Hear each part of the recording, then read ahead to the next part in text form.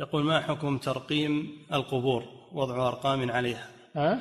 ما حكم ترقيم القبور؟ لا ما يجوز. هذه كتابة.